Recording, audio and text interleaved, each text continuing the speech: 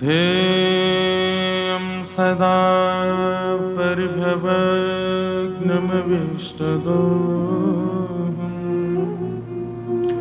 तीर्थास्पदं शिवविरञ्चनुतं शरण्यम् भृत्यार्थिहं प्रणतपालभवाब्धिपोतम् वन्दे महापुरुषते चरणारविन्दम्।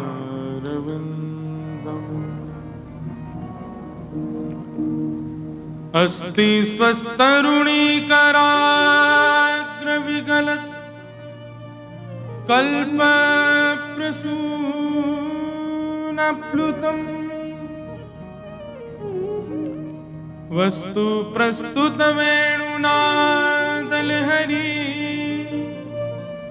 निर्वाकुलम्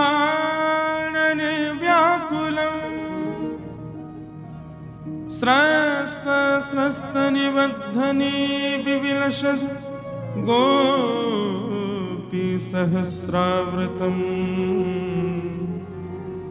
हस्तन्यस्तनतापवर्गमखिलो दा किशोराकृति लक्ष्मीनाथसमारम्भां नाथयामुनमध्यमाम्। अस्मदाचार्यपर्यन्ता वंदे गुरुपरम्परा जय जय श्री राधारमण जय जय नवल किशोर। जय गोपी चित चोर प्रभु। जय जय माखन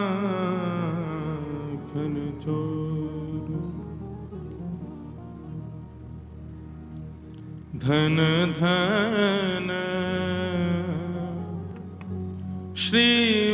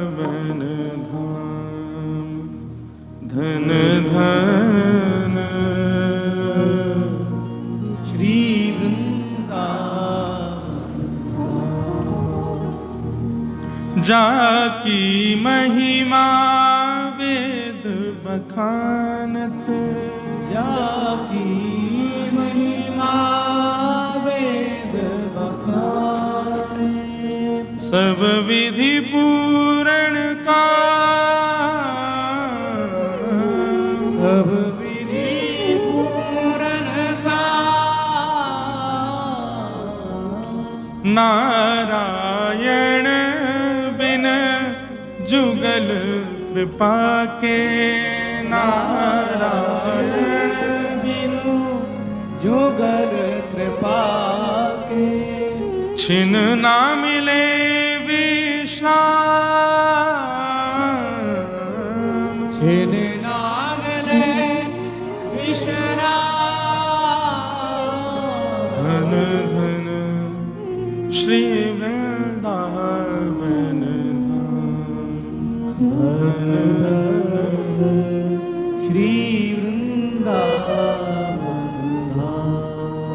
बोलो वृंदावन बिहारी लाल की श्री राधा रमण लाल की श्री राधा वल्लभ लाल की प्यारे गिरधर लाल की श्रीमद् भागवत महापुराण की श्याम सुंदर श्री अमने महारानी की सब संतन की सब भक्तन की सब विप्रन की गोवर्धननाथ की, गिरिराज धरण की, श्याम सुंदर श्री अमने महारानी की, जय जय श्री राधे। द्वारिकाधीश की जय।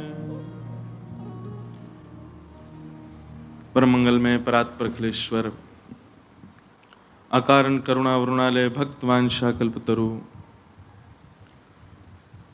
तड़िद्वत विनंदित पीताम्बरधारी श्री बाल कृष्ण लाल की शब्दमयी, वाणीमयी प्रतिमूर्ति हम आप सबके मध्य में विराजमान। श्रीमद् भागवत महापुराण को बारंबार प्रणाम।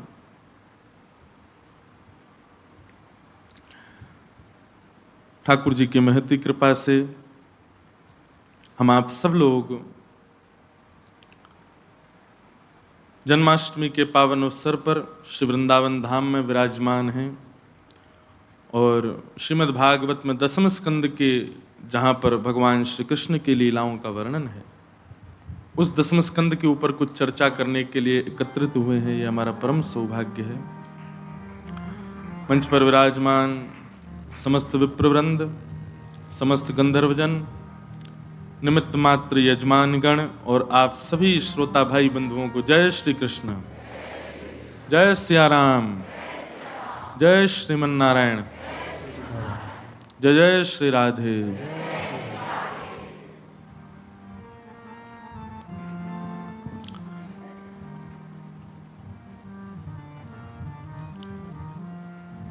भाद्रपद की ये सुंदर तिथियाँ और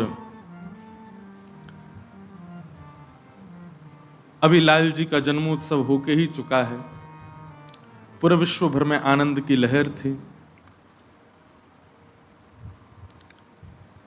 एक प्रकार से श्रीमद् भागवत जी की जयंती भी इन्हीं तिथियों में आती है। जब राधाष्टमी का समय है तो राधाष्टमी से लेकर के आगामी सात दिन तक श्रीमद् भागवत जी की जयंती मानी जाती है। सुकाचार्य जी ने जो परीक्षित को भागवत की कथा सुनाई, वो राधाष्टमी से प्रारंभ होती है। और फिर आगे सात दिन तक वो क्रम कथा का जो है, वो पूरी भागवत जी की जयंती मानी जाती है। तो ऐसी पावन तिथियाँ हैं। हम आप सब लोग ब्रजमंडल में बैठे हैं ठाकुर जी के मधुर भाव सुनने के लिए। कल हम आप सब लोग कृष्ण लीला में प्रवेश के लिए, अधिकार के लिए क्या आवश्यकता है, वो हम सब श्रवण कर रहे थे। जिसमें विशेष प्रकाश डाला गया निर्गुणता निर्गुणता ही गोपी का स्वरूप है। बहुत ध्यानपूर्वक सुनिएगा। श्री वृंदावन में रजोगुण, तमोगुण और सतोगुण, ये बाह्य रूप से दिख सकते हैं आपको, पर आंतरिक रूप से ब्रजवासियों में और ब्रज में रहने वाले में निर्गुणता होती है। या केवल एक पक्षपात ना करके ब्रजवासियों का ही पक्ष ना लू में हरिप्रियों के अंदर निर्गुणता होती है। वो ना राजस भाव में होते हैं, ना तामस में, ना सात्विक में। वो निर्गुण होते हैं। और निर्गुण व्यक्ति का स्वरूप, स्वभाव कैसा होता है? जाही विधि राखे राम, ताही विधि रही है सीताराम सीताराम, ये निर्गुण व्यक्ति का लक्षण है। तेरे फूलों से भी प्यार, तेरे कांटों से भी प्यार, जो, तू जो भी देना चाहे दे दे, मेरे करता। सुनने में बड़ी अच्छी लगती है ये बात, कहने में भी बड़ी अच्छी लगती है ये बात। पर घटने में ये बिल्कुल भी स्वीकार्य नहीं होती। हमें वही चाहिए जो हमें चाहिए। हमको ठाकुर जी के द्वारा प्रदत्त वस्तु में इतनी रुचि नहीं होती। पर ब्रज की गोपियाँ कैसी हैं? ठाकुर जी ने यदि मथुरा जाने का निर्णय लिया तो वह ब्रज की गोपियाँ जो एक क्षण भी श्री कृष्ण को देखे बगैर रह नहीं सकती हैं। वह ब्रज की गोपियाँ जिनके जिनके कंठ से नीचे नीचे जल नहीं उतरता जब तक श्याम सुंदर को ना देख लें। वे श्याम सुंदर को मथुरा जाने की आज्ञा दे देती हैं। क्यों? क्योंकि निर्गुण स्वभाव है।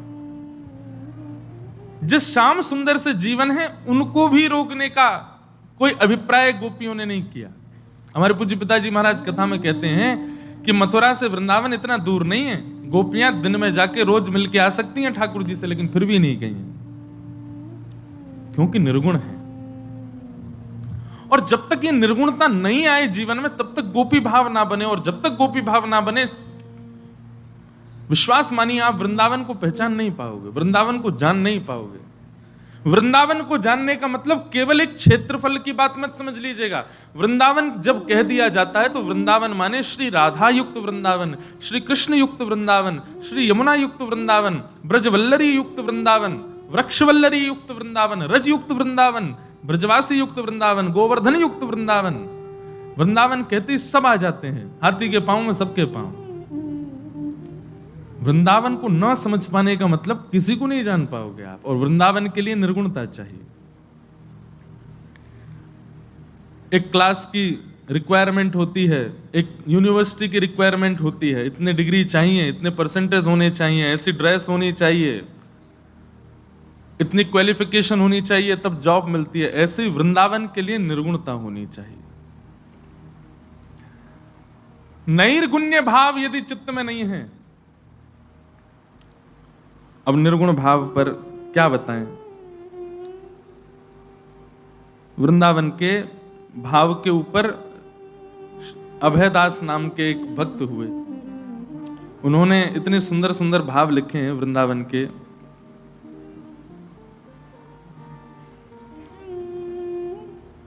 अब निर्गुण व्यक्ति ही लिख सकता है। अभी सुनाते हैं, रुको। बोल, वृंदावन बिहारी लाल की जय।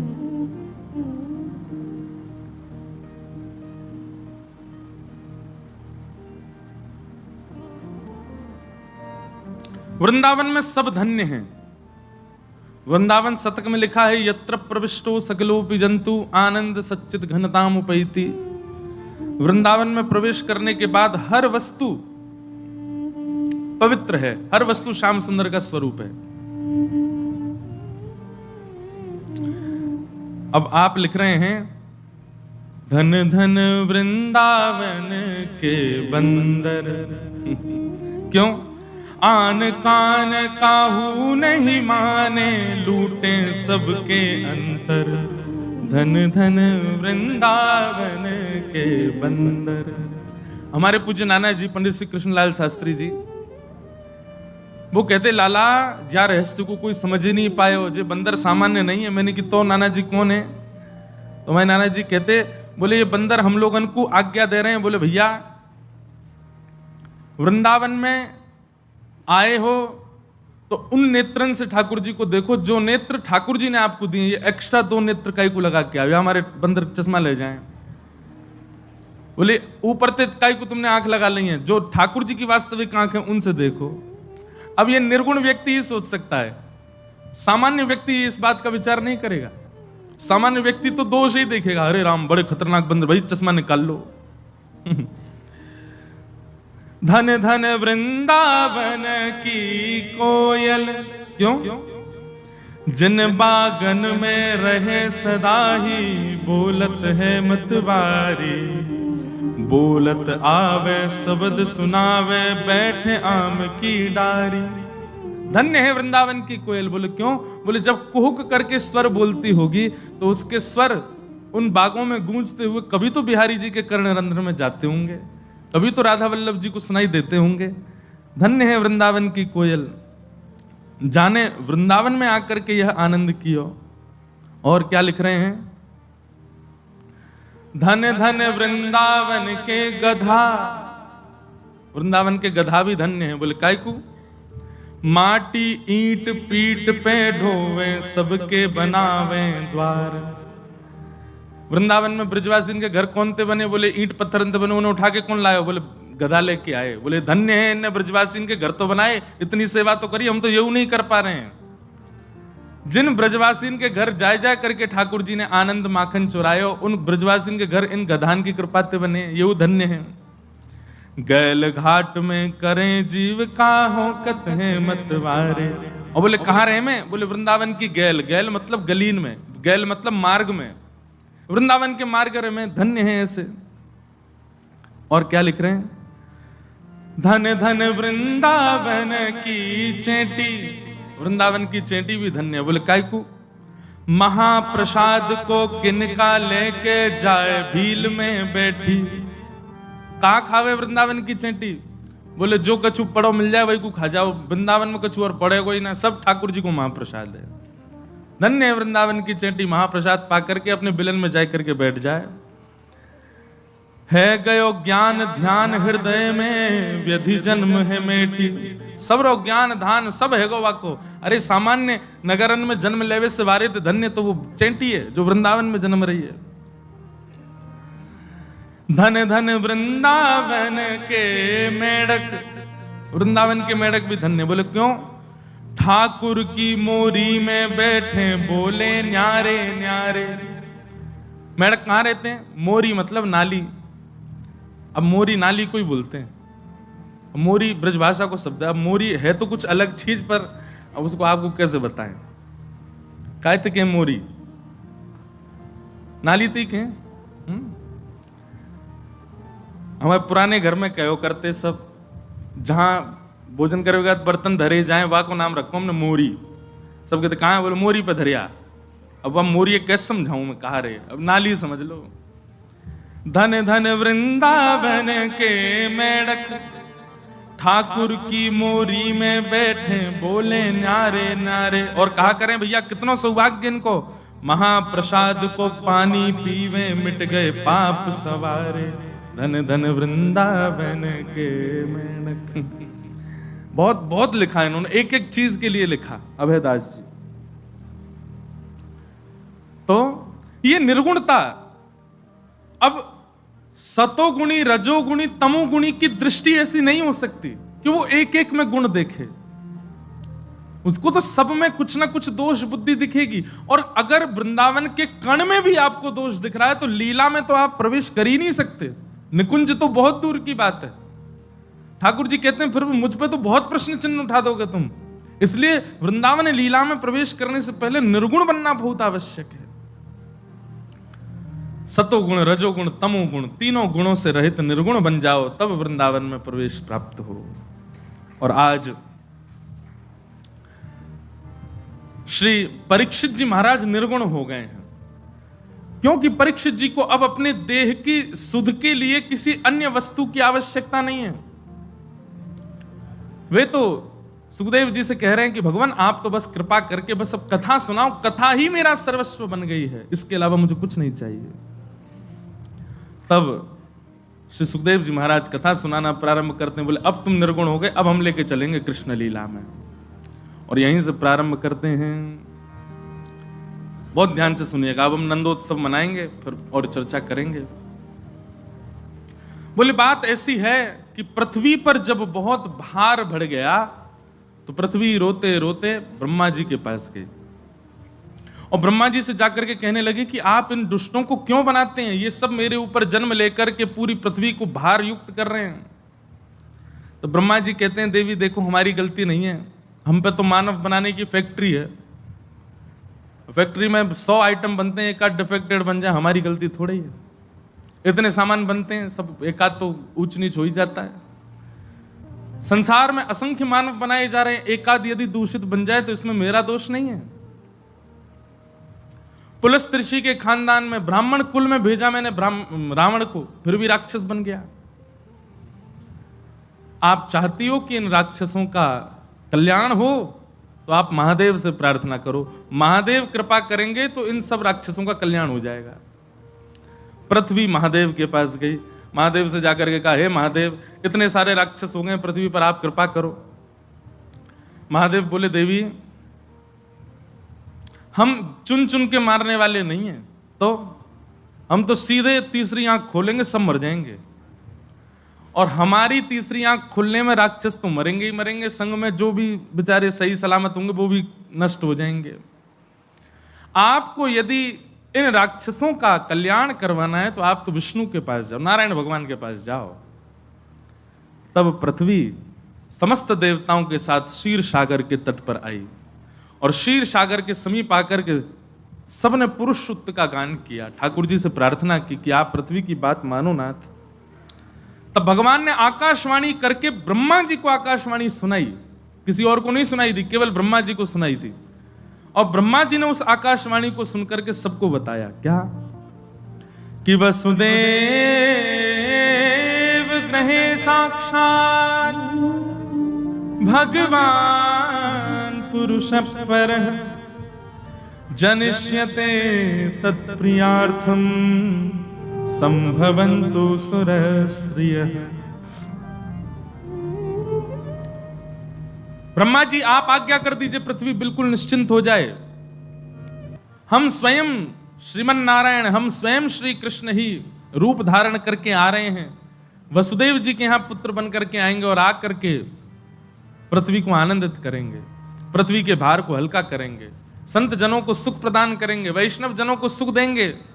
अपने सब प्रेमी जनों को आनंद प्रदान करने के लिए हम आ रहे हैं, बिल्कुल निश्चिंत हो जाए पृथ्वी।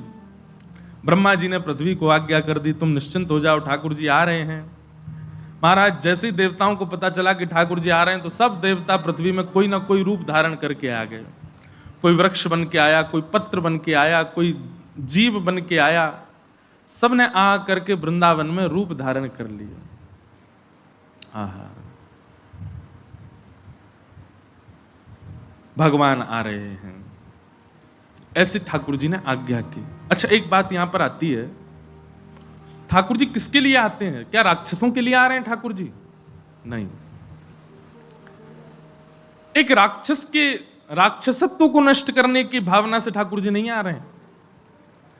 ठाकुर जी के आगमन के पीछे उद्देश्य, देखो, राक्षसत्व जो है, वो ठाकुर जी चाहें तो राक्षस जन्म ही नहीं लेगा, लेकिन भक्त के जो हृदय में प्रेम होता है, वो ठाकुर जी के लिए एक नई बात है, नए भाव है। हमारे अंदर जो अवगुण होते हैं ठाकुर जी को, वो सब पता है, पर हमारे अंदर जो ठाकुर जी के प्रति गुण होते हैं, ठाकुर जी के प्रति प्रेम होता है, वो ठाकुर जी को नवीन लगता है। और ठाकुर जी नवनीत चोर हैं, नवीन के चोर हैं। पुरानी वस्तु को व्यवस्थित करने के लिए कोई नहीं, नई वस्तु को देखने और पहचानने के लिए सब आते हैं। ठाकुर जी भी केवल भक्त वैष्णवों के चित्त में विराजमान, जो नवीन प्रेम है हमारा ठाकुर जी के प्रति, उसको देखने के लिए आते हैं। इसीलिए मैं निवेदन किया करता हूँ, नित्य अपने ठाकुर जी की सेवा में कुछ नवनीत प्रस्तुत करो, कुछ नया प्रस्तुत करो। सुबह इतने बजे आरती कर देना, इतने बजे श्रृंगार करना, ठाकुर जी को उठा के बैठा देना, फिर उसके बाद नियमित रूप से 40 साल से जैसी सेवा चली आई वैसी करना तो वो केवल नियम रह पाएगा, वो सेवा नहीं बनेगी। नियम सेवा में परिवर्तित कब होगी? जब उसमें कुछ ना कुछ नवीन हो, कुछ ना कुछ नया हो, जैसे कि छोटे बालक के प्रति माँ क्या करती है? सेवा का भाव रखती है। छोटा बालक है, अभी चल फिर नहीं पाता तो उसको रोज नया नया सजाएगी, कभी उसके बालों को ऐसे कर देगी, कभी दो चोटी बना देगी, कभी कुछ पहना देगी, कभी कुछ। तो नवीन जब करती है तो सब देखने के लिए लालयत रहते हैं। आज उसका बालक कैसा लग रहा होगा? आज उसका पुत्र कैसा दिख रहा होगा? और बालक भी अपने आप ही सुंदर सुंदर होता अब जो मैया एक से ही कपड़ा पहनावे, एक से ही तरीका से बालक को रखे बालक भी फिर सामान्य सा ही लगता है। कुछ नवीनता आनी चाहिए। आप यदि एक ही भाव से जैसी चली आ रही, वैसी सेवा कर तो वो नियम माना जाएगा, सेवा नहीं। सेवा में तो नित्य नूतन, नित्य नया, कुछ ना कुछ भाव।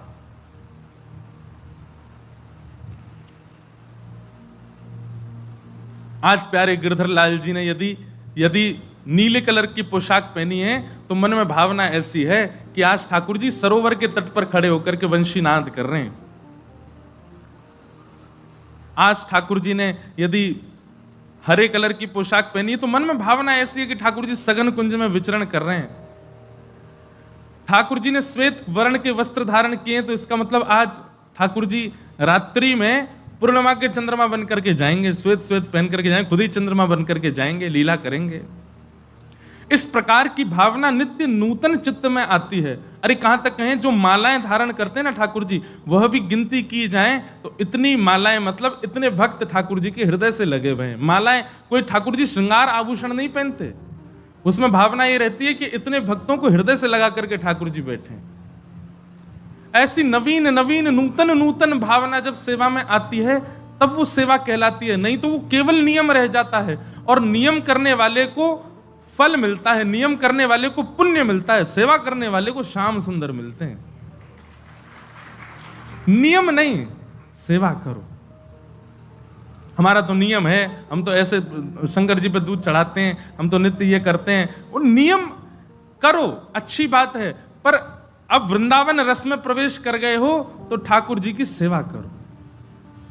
ने आज ठाकुर जी भी महाराज सवेरे सवेरे यो सोचें कि भाई जल्दी उठेंगे, उठ करके तैयार होंगे, देखें तो आज कहा करेगो पता नहीं, आज कछु नयो लेके आवेगो ठाकुर जी को भी सोचने पे मजबूर कर दो कि आज कछु नूतन होने वाला है, कुछ नया होने वाला है। उसको सेवा कहते हैं। तो उस नूतन सेवा के लिए ठाकुर जी पृथ्वी पर आते हैं। कोई राक्षसत्व के वध के लिए या राक्षसत्व समाप्त के लिए ठाकुर जी नहीं आते। मुख्य उद्देश्य वैष्णवों के भाव स्वीकार। आहा।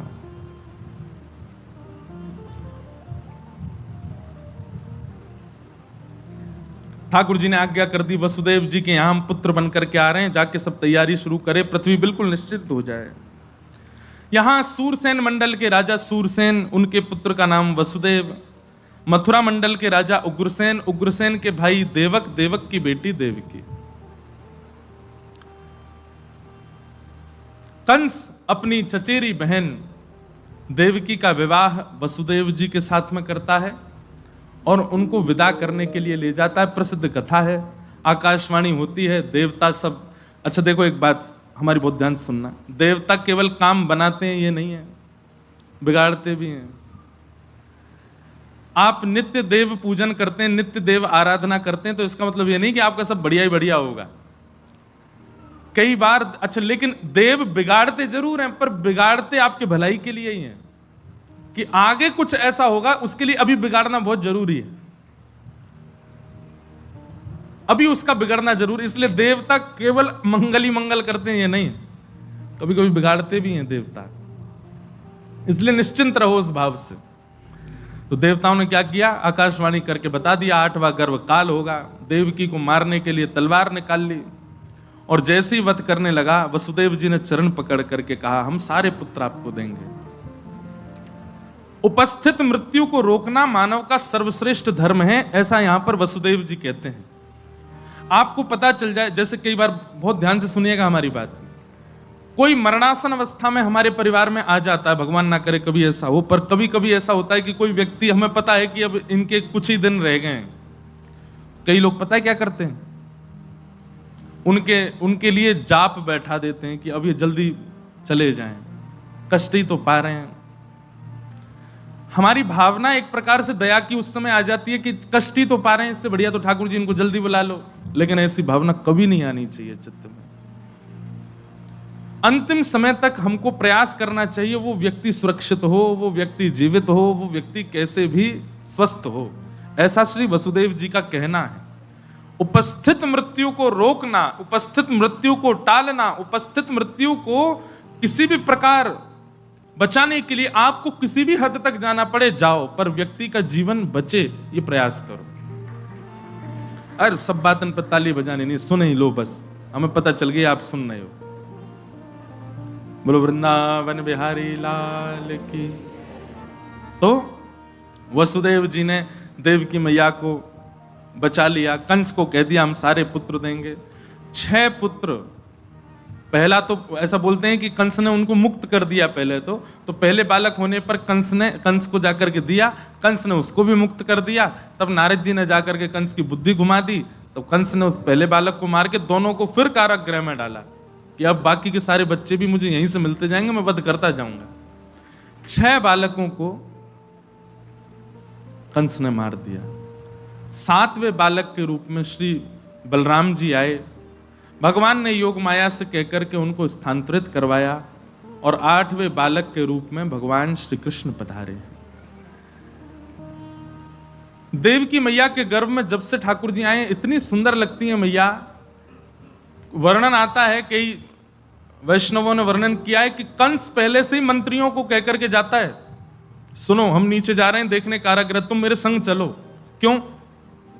देवकी को देखते ही मेरे अंदर दया आ जाती है। देवकी को देखते ही मेरे अंदर करुणा आ जाती है। देवकी को देखते ही मेरे नेत्र सजल हो जाते हैं। जैसे ही मैं ऐसा होने लग जाऊँ, मुझे खींच लाना वहाँ से। क्योंकि मेरा शत्रु माया माया भी बालक जन्म लेने वाला ना, वो माया का जाल फैला रहा है मेरे चित्त पर। मुझे मुझे दयालु बना रहा है। बंधुओं ये कोई कहने वाली बात नहीं है, ये बहुत बहुत स्पष्ट बात है। जिनके चित्त में ठाकुर जी होते हैं, जिनके वास्तविक हृदय में ठाकुर जी होते हैं, उनकी उपस्थिति, उनका दर्शन, उनका बोलना, उनका आपके सामने आ जाने मात्र से कई आपके दुर्भाव ऐसे होते हैं, वो अपने आप ही नष्ट होने, आपके बिना क्रिया के नष्ट होने लगते हैं। आपने अनुभव किया होगा। किसी महापुरुष के आपने वचनामृत सुन लिए और जिस काम को न करने के लिए पूरा परिवार पीछे पड़ा था, दस साल से आप नहीं छोड़ रहे। पर उस महापुरुष की एक वाणी सुनकर के आपने छोड़ने का तुरंत मन बना लिया, नहीं, ये मुझे नहीं करना है। हम तो ऊधमी बालक हैं, हम तो कुछ करते, डरते हैं नहीं। हमारे संपर्क में कितने सारे बच्चे हैं, कितने सारे लोग हैं। कथा सुनने आए और कथा सुनने के बाद वो बोले, महाराज जी, इतने दिन से कुछ नहीं छोड़ा, अब सब छोड़ छाड़ दिया। अभी जयपुर में ही एक बालक मिला, वो उसकी माता जी बोली, महाराज जी, कोई हम अपनी प्रशंसा मत कर रहे, कल से आप भी अपने बालक ले आओ। ये ये नहीं करता, ये नहीं करता, आप देख लो इसको, ऐसा कुछ नहीं है। किसी किसी पर ठाकुर जी रीझ जाते हैं। तो बोली कि, महाराज जी, हमारा ये बालक है, और ब्याह हो गया था बालक का, बालक भी थे उसके भी। बोले, हम लोग ब्राह्मण हैं, फिर भी इसने कभी मांस नहीं छोड़ा, रोज खाता। मैंने कि, फिर बोले, इसने महाराज जी, एक बार कहीं गलती से कथा सुन ली। उसके बाद में फिर इसको अच्छा लगा तो इसने और सुनी। और सुनी कब? उसके जीवन में कोई बहुत खतरनाक समय आया कि वो विचलित हो गया, तब उसने कथा सुनी। कथा तीन प्रकार के लोग सुनते हैं। पहले, रसिक, जिनको कथा में अच्छा लगता है। जिनको ठाकुर जी से प्रेम है, वो सुनते हैं। दूसरे, जिनका कहीं समय नहीं निकल रहा, वो कथा सुनते हैं। क्या करें टाइम पास कहीं तो हो। वृंदावन आए अब घूम घाम लिए, अब कहाँ जाएँ? दो दिन और रुकना है तो सुन लो कथा।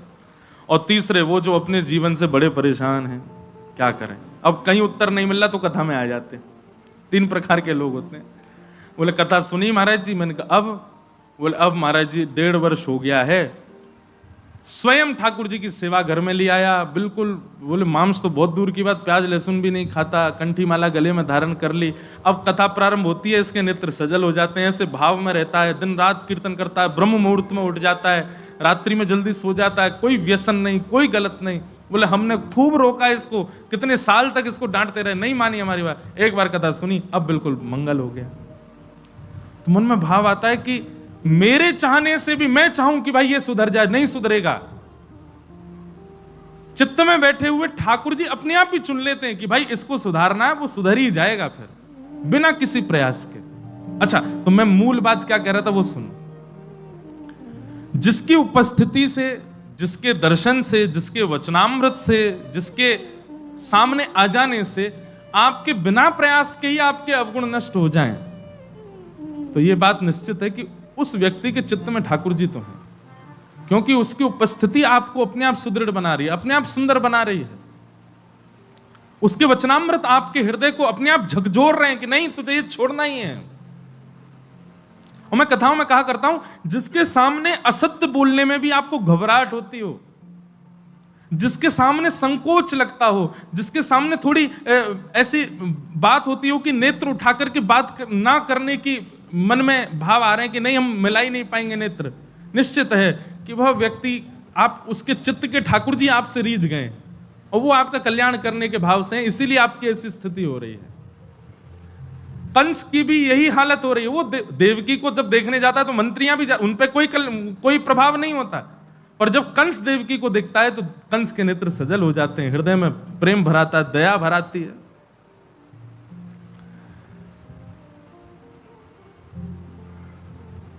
ठाकुर जी जिनके चित्त में आ जाते हैं, उनका भाव ऐसा ही होता है। अभी भक्तमाल जी की कथा हो रही थी तो वहाँ पर श्री हितरवंश महाप्रभु का चरित्र जब आया तो उस चरित्र में ऐसा भाव, मैं आपको क्या बताऊँ, मेरे से भक्तमाल अब निकल ही नहीं रही, मेरे अंदर ही बैठ गई है वो। मैं कहीं भी जाता हूँ, मुझे भक्तमाल जी के भाव याद आते जा रहे हैं। बहुत अद्भुत है। तो भक्तमाल जी के भाव में एक बात बताई थी कि जब श्री हितरवंश महाप्रभु अपनी मातृ गर्भ में आए तो उनकी माता जी तो यहाँ से देवबंद कितना दूर वृंदावन से?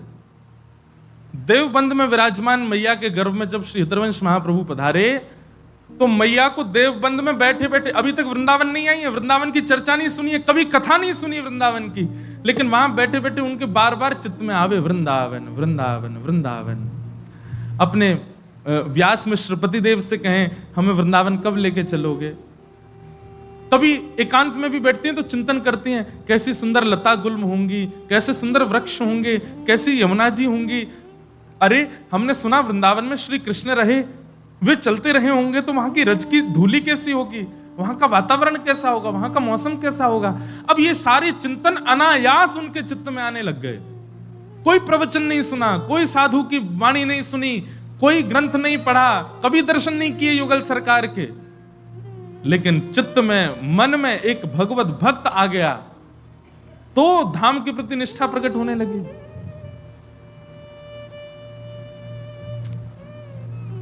भजन केवल अपने कल्याण के लिए नहीं करना है, ध्यान से सुनिएगा।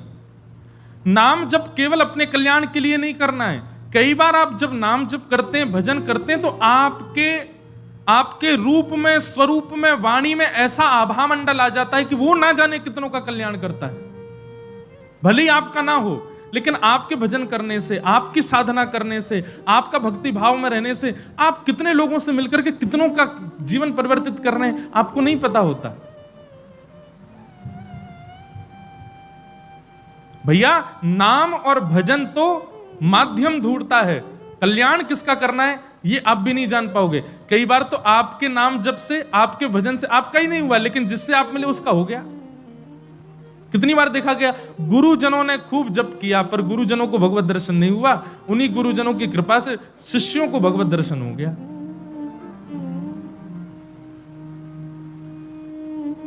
तो ठाकुर जी गर्भ में आए हैं। देवकी का रूप अत्यंत मनमोहक है, कंस के दुष्टता को नष्ट कर देता है वो। कंस भावुक हो जाता है देवकी को देख करके। तब मंत्री आदि उसको खींच के ले जाते हैं। बोले, चलो महाराज, यहाँ से दूर चलो जैसे दूर जाता है, तुरंत उसका भाव अच्छा अब दूसरी बात सुनो।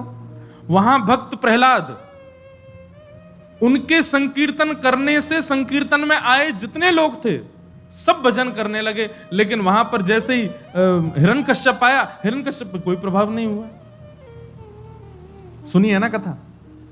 जब प्रहलाद जी महाराज संकीर्तन कर रहे थे तो सब दैत्य बालक नाचने लगे। आसपास के गाँव के लोग भी आकर के नृत्य करने लगे। लेकिन हिरण्य कश्यप ने अपनी सारी सेना भेज दी सेना भी कीर्तन करने लगे। जब हिरण कश्यप आया हिरण कश्यप पर उस, उसका कोई प्रभाव नहीं हुआ। हिरण कश्यप ने आके प्रहारी किया प्रहलाद के ऊपर।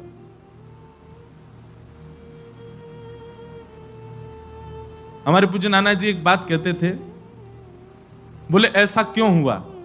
बोले प्रहलाद जी कीर्तन का करंट फैला रहे अब वहाँ में जितने लोग आते गए, वो सब प्रज्वलित होते गए, सबके चित्त में कीर्तन प्रकट होता गया, सब नाचते गए, गाते गए। लेकिन हिरण कश्यप आया हिरण कश्यप पर उसका प्रभाव नहीं हुआ। क्यों? बोले, भैया, कितना तेज वोल्टेज को करंट फैलो हो, बल्ब फ्यूज होगा तो जलेगा ही नहीं। बोले हिरण कश्यप फ्यूज हो भीतर थे या हमारे नहीं जलो। अच्छा वहाँ तो बात ऐसी आती है ना कि वे जय और विजय दैत्य हैं। जय और विजय ही दैत्य रूप धारण कर रहे हैं। उनको तो पता भी होगा कि हमको प्रज्वलित होना तो जानबूझ के नहीं हो रहे क्योंकि आए ही वो इसलिए ताकि ठाकुर जी हमें हमारा वध करें। पर कंस जय विजय की श्रेणी में नहीं है ना। वो तो स्वच्छंद राक्षस है। वह भी जब देव की मैया को देखता है तो उसके चित्त में प्रेम प्रकट हो जाता है। इसलिए वैष्णवों का दर्शन, भजनानंदियों का दर्शन, भगवत गुणानुवाद गाने वालों का केवल दर्शन। वृंदावन में जैसे आके लिस्ट बनते राधा वल्लभ जी जाना बिहारी जी जाना है, गोविंद देव जी जाना है और राधा रमन जी जाना है। ठीक है, एक दो बार, चार बार, दस बार, ठीक है, नियम पूरा कर लिया, अब नए नियम बनाओ। अब क्या नियम बनाने? वृंदावन के रसिक जनों के दर्शन करो, वृंदावन के ब्रजवासीन के दर्शन करो, वृंदावन में ढूंढो वैष्णव जन कहाँ हैं? और जा जा करके, और वृंदावन में कई ऐसे भजनानंदी भी होंगे जो चाहते नहीं है कि आप उनके पास आओ। छुप करके जाओ। उनको श्रमित मत करो। दूर से दर्शन करो। वृंदावन में नई नई कुंज लताओं को ढूंढो। वृंदावन में नए नए वनों का दर्शन करो। अब अब परिवर्तन करो अपने दर्शन की विधा में। इन सबके दर्शन से चित्त में प्रेम लक्षणा भक्ति प्रकट होगी।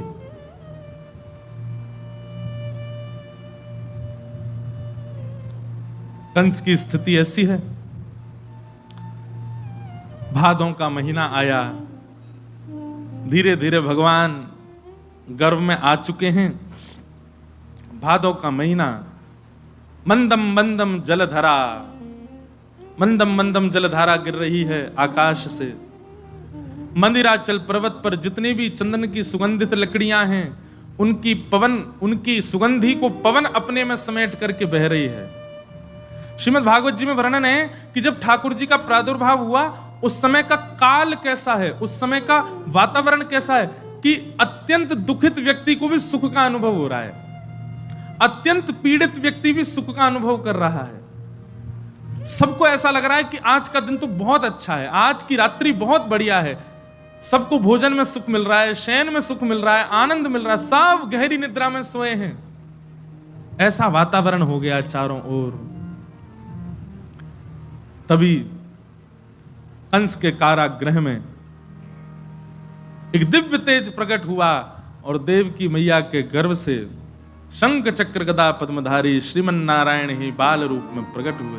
बोल, बाल कृष्ण लाल की। सब लोग नेत्र बंद करके दर्शन करो। तम तमद्भुतम बालक क्षणम चतुर्भुजं शंख गदार्युदायुधम श्रीवत्सलक्ष्मं गलसौभकौस्तुभम् पीताम्बरं सांद्रपयोदसौभगम् एक बात इस पूरे श्लोक की व्याख्यान में आपको ध्यान में रखनी है कि ठाकुर जी जब प्रकट हुए हैं, तब ठाकुर जी चतुर्भुज में आए हैं, पीताम्बरी पहन के आए हैं कौस्तुभ मणि पहन के आए हैं, लेकिन ठाकुर जी बड़े रूप में नहीं आए बालक में, बालक के रूप में ही आए छोटे से बालक। कोई चित्रकार बनावे, मैं तो ऐसे ऐसे भाव बनाता हूँ, चित्रकार बना भी लाते हैं। कोई छोटे से बालक नेक्स्ट से लाल जी शंख चक्र गदा पद्म मोटे मोटे गद मदरा से आतन में ठाकुर जी के में शंख चक्र गदा में लगे भय हैं। और नेक्स्ट सी पीताम्बरी ठाकुर जी ने पहनी है, गले में छोटी सी कौस्तुभ मणि धारण कर रखी है। ऐसे अद्भुत ठाकुर जी अपना श्रृंगार करके, चतुर्भुज रूप धारण करके मैया के गर्भ से प्रकट भये हैं। आहा। माता देव की और वसुदेव जी ने ठाकुर जी को प्रणाम किया। अच्छा एक बात बताएँ आपको।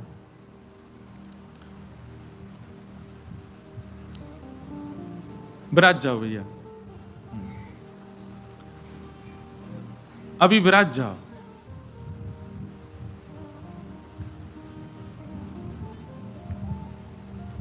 ठाकुर जी, मथुरा, जब वृंदावन से मथुरा चले गए, उसके उपरांत ठाकुर जी चतुर्भुज रूप में ही रहे। समझ रहे हैं बात को? ये दो भुज ठाकुर जी तो केवल वृंदावन में ही रहे हैं। जैसे ही ठाकुर जी वापस मथुरा गए हैं, और मथुरा से लेकर के द्वारिका लीला तक अधिकतर ठाकुर जी चतुर्भुज रूप में ही रहे। अधिकतर। और विशेष रूप से कब? जब देव की मैया सामने होती है, तब। ऐसे हमारे रसिक जन बताते हैं, क्योंकि देव की मैया ने चतुर्भुज ठाकुर जी को जन्म दिया ना तो इसलिए वो ठाकुर जी जब दिखते हैं तो उनको उसी भाव से देखती है कि चार भुजा भारे हैं मेरे लाला तो। तो देव की मैया जब भी उपस्थित होती ठाकुर जी ठाकुर जी चतुर्भुज रूप में ही रहते हैं तब, क्योंकि मैया के लाला वही है। ये दो भुज ठाकुर जी तो महाभारत युद्ध में रहे, बीच में विराट रूप धारण किया अपने गोकुल वृंदावन की लीलाओं में रहे आदि आदि भावों में रहे, लेकिन देव की मैया के सन्मुख ठाकुर जी चतुर्भुज रूप में ही रहे। इस बार द्वारिका में जब वृंदावन द्वारिका मिलन महोत्सव हुआ था, ब्रज द्वारिका मिलन तो वहाँ पर यह भाव पुष्ट हुआ था कि द्वारिका में ठाकुर जी चतुर्भुज क्यों हैं? बोले, क्योंकि ये देव की नंदन ठाकुर जी हैं। देव की नंदन ठाकुर जी चार भुजा में ही रहते हैं। अभी अभी सुनना एक कुछ, एक दो बातें बताएँगे नहीं तो ठाकुर जी चार भुजा में प्रकट भय मैया ने गोद में लेकर के ठाकुर जी को पयोधर पान कराया। भगवान छोटे से बालक बन गए, दो भुजा धारण कर ली। वसुदेव जी से आज्ञा की कि आप हमको लेकर के जाओ और जाकर के गोकुल में नंदरानी यशोदा मैया के बगल में सुवाए दो। और वहाँ एक बालिका ने जन्म लिया, उसको ला करके कंस को दे देना। फिर ग्यारह वर्ष छप्पन दिन लीला करने के बाद हम वापस आएँगे। तब वसुदेव जी महाराज ठाकुर जी को लेकर के गोकुल जा रहे हैं। हथकड़ियाँ खुल गई, बेड़ियाँ खुल गई, सारे द्वारपाल सोए हैं, चट चट सब ताले खुलने लगे। इसका भी भाव ऐसा बताया जाता है ठाकुर जी कहते हैं, मेरी शरण में आने वाले के सारे बंधन मैं खोल देता हूँ। फिर कोई बंधन नहीं रहता उसके पास। कोई बंधन युक्त नहीं रहता वो, सारे बंधन मैं छोड़ देता हूँ, खुलवा देता हूँ। ठाकुर जी से कभी ये शिकायत मत करो कि नाथ, इतने बंधन जीवन में हैं, हम शरण में कैसे आए हैं? बंधन युक्त होकर के शरण में चले जाओ। गोपियाँ कोई अपने परिवार घर कुल कानी सब छोड़ छाड़ करके नहीं आई, सबसे युक्त होकर के ठाकुर जी के चरण में आ गई। और भगवान के चरणों में आकर के कहती है, मैं वम विभोर भवि भवान कति तुम संत्यज सर्व विषयाम स्तव पाद मूलम भक्ता भक्ता भजस्व दुर्वग्रह मात्यजास्मान देवो यथादि पुरुषो भजते मुमुक्षु। ठाकुर जी आप जानो, हम तो बस आ गई आपके पास। अब अब क्या करना है, कैसे करना है, ये आप संभालो।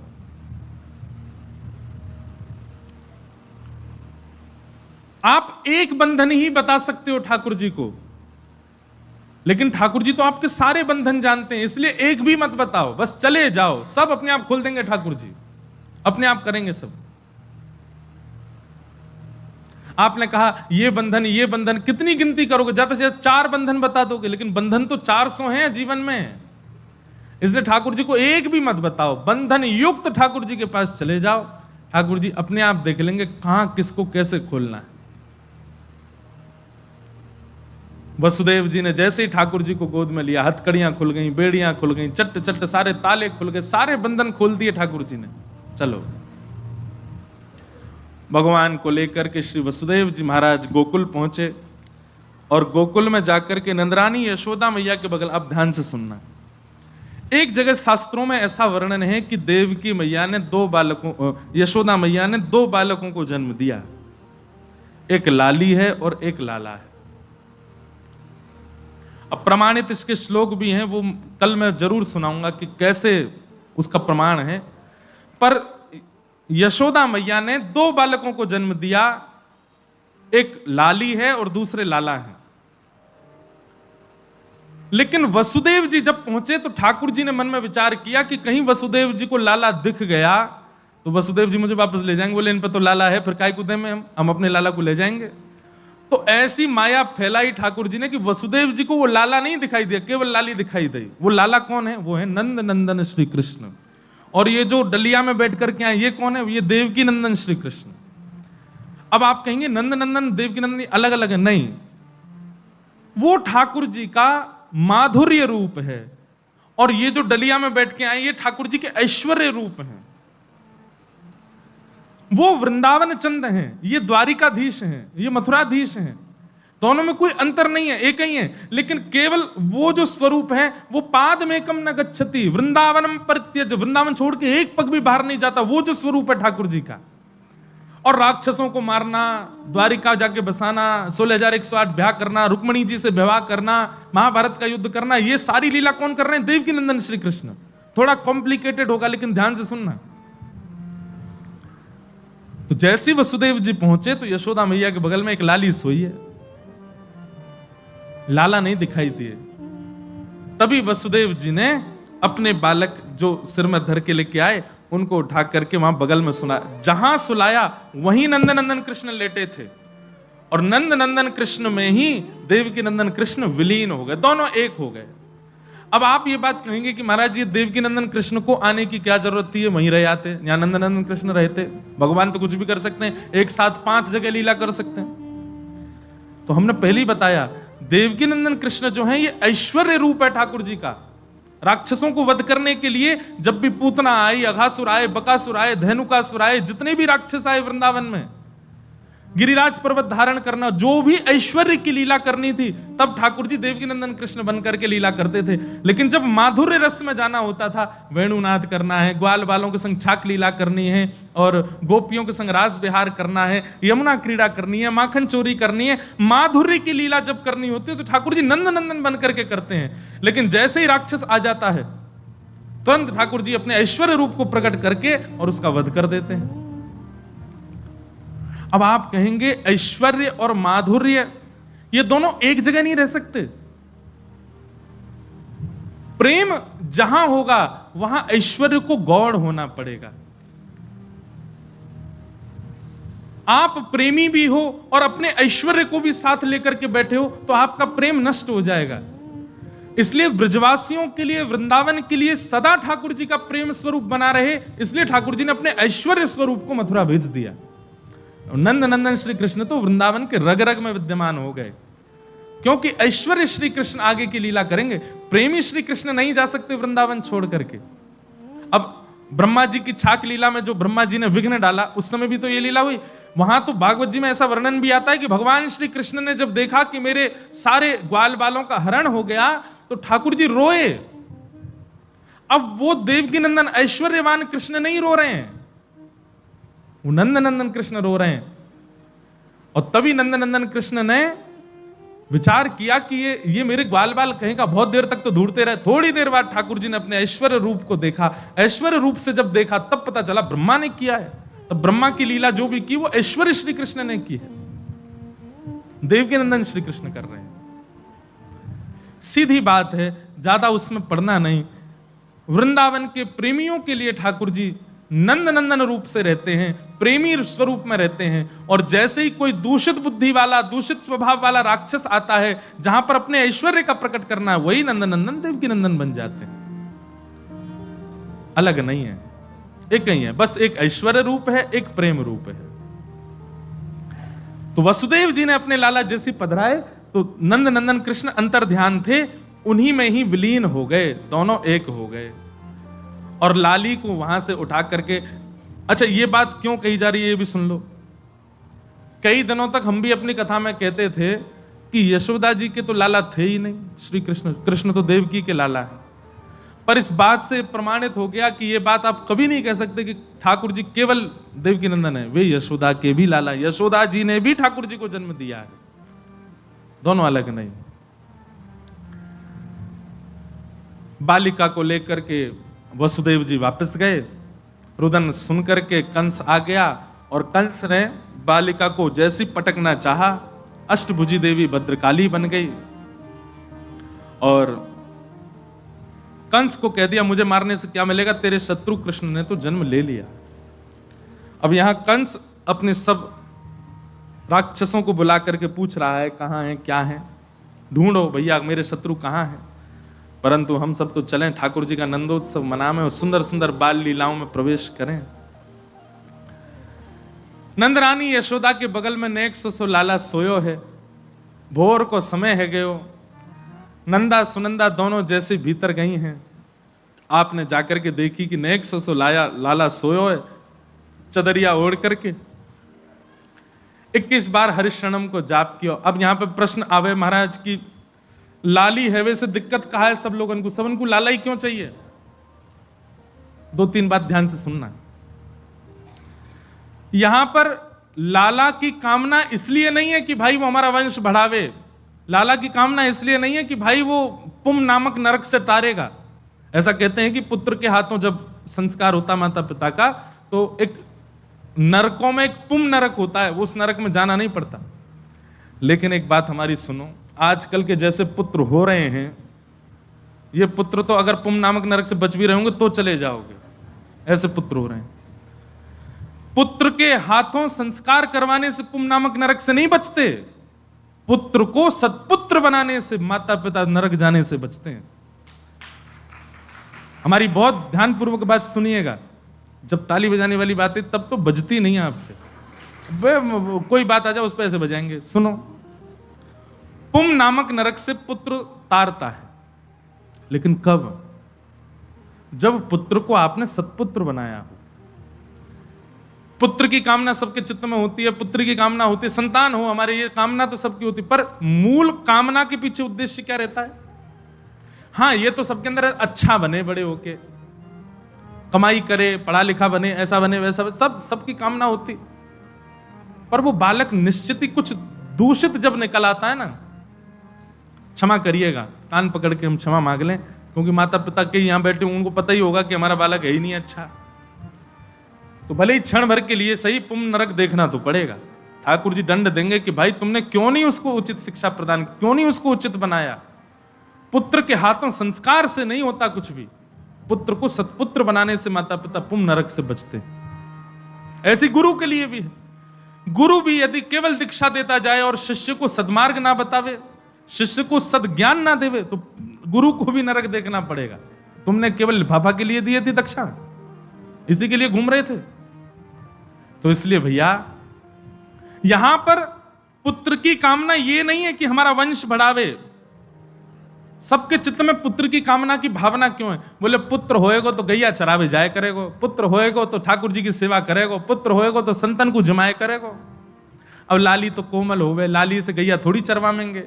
लाली से संतन की सेवा थोड़ी इतने संत आमेंगे सबन के पाँव धो। अरे, कन्या तो भैया दूर से प्रणाम करे। कन्या लक्ष्मी, वो थोड़ी चरण धोवेगी। इसलिए पुत्र की कामना। और महाराज, नंदा सुनंदा तो ये सोचें, भैया के घर में सब हमते बड़े हैं, सब हमको डांटे फटकारे हमसे डर व्यवहार तो कोई है ही ना यहाँ पे। नंद बाबा के एक लाला है जाए तो महाराज, हम दोनों की खूब चलेगी, खूब मारे करेंगी, खूब डांटे करेंगी, कान पकड़ के रखे करेंगी। बुआ आई है चरण दबा। बुआ आई है इनके काजे भोजन लेके आ। एक लाला घर में है जाए। भागवत जी में स्पष्ट वर्ण विष्णु आराधनार्थाय। पुत्र की कामना नंद बाबा ने किंचित भी इस भावना से नहीं की है कि हमारा वंश वर्धन हो, बल्कि इस कामना से कर रहे हैं कि सबकी सेवा करने वाला, सबका ध्यान रखने वाला, गैयाओं का वर्धन करे, संतों का वर्धन करे, पूरे ब्रजमंडल की रक्षा करे, सेवा के लिए पुत्र चाहिए हमको। सेवक पुत्र चाहिए। ये भावना रख करके 21 बार हरिशरणम का जाप करके जैसे ही चदरिया हटाई महाराज, नंदा सुनंदा ने नीलमणि कृष्ण को जैसे ही देखा है एक दूसरे को मुख बंद किया, अरे, ये खबर अभी सबन को नहीं बतानी है। सबसे पहले गौशाला में बैठे हुए नंद बाबा को जाकर के बताएँगे। नंद बाबा के पास में पहुँची, दोनों दौड़ती जा रही है। नेत्रन से अश्रुपात है तो जा रो है। दौड़ करके गई और नंद बाबा को घेर करके बोली, बाबा, आपने इतने ब्रजवासी जमाए, इतने संत वैष्णवन को आनंद करायो इन सबन के फलस्वरूप यमुना मैया की कृपा सो, ब्रजवासीन की आज्ञा सो। आपके घर नीलमणि जैसो। नंद बाबा बोले, बता कहाँ भयो बोले, पहले बताओ हमें कहा मिलेगो? बोले, तू जो कहेगी सो देंगे महाराज। नंद बाबा ने जैसे कि जो कहेगी सो देंगे। नंदा सुनंदा भाव में भर गई ठाकुर। नंद बाबा को हृदय से लगा करके बोली, आपके घर नील मणि जैसो लाला जायो है। लाला की खबर सुनते ही नंद बाबा तो महाराज, अस्सी बरस के बाबा सोलह बरस के है गए। फूले नहीं समा रहे हैं, मेरे घर लाला भयो है। आहा। रैन अंधेरी चंद्र स्वरूपी आ गए आ गए। रैन अंधेरी चंद्र स्वरूपी आ गए आ गए मात यशोदा और सखियन को भागे भागे। मात यशोदा और सखियन को भागे भागे। आंधे काली कामरिया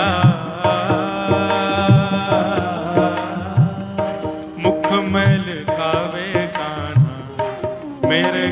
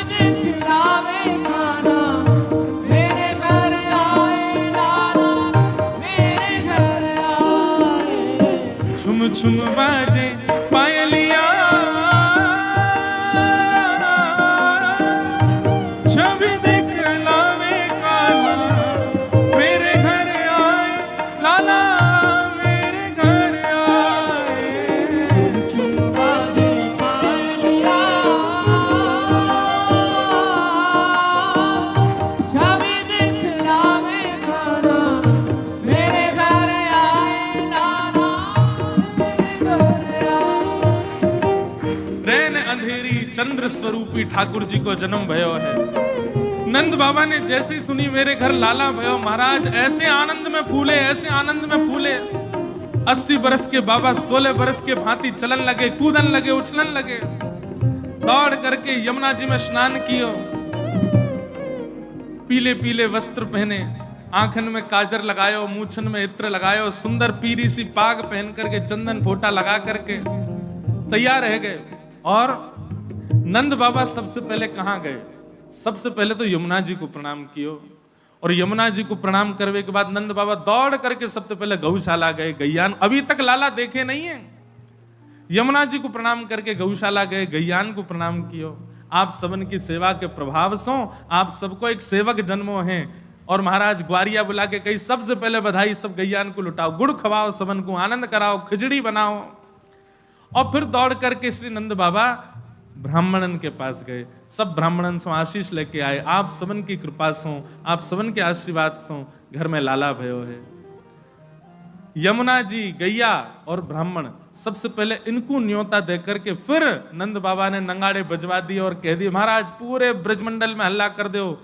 आज सबन के घर, कोई के भी घर चूल्हा नहीं चेतेगो। सब नंद भवन में आनंद सो प्रसाद पाएँगे। नंद जी के घर लाला भयो है। ऐसो आनंद, ऐसो सुख पूरे ब्रजमंडल में छायो है। भागवत जी में जो वर्णन है ना, महाराज, जैसे पुत्र होने की पहली खबर पिता को मिलने पर जो पिता की स्थिति होती है, ऐसी स्थिति पूरे ब्रजमंडल की हो रही है। जिसके भी कान में ये बात पहुँचती है कि नंद जी के लाला भयो है, महाराज, वो सब फूले नहीं समाते हैं। सब अपने घरन में बंधन बार बाँध रहे हैं, अपने घरन में दिए जला रहे हैं, अपने घरन में उत्सव मना रहे हैं। अरे कहाँ तक कहें? अभी तक ब्रजवासी ने देखे भी नहीं है ठाकुर जी फिर भी बिना देखे ठाकुर जी कोई सब अपने अपने घरन में उत्सव मना रहे हैं। हो ब्रज में है रही, जय जयकार नंद घर, लाला जायो है। ब्रज में है जय जयकार नंद घर, लाला जायो लाला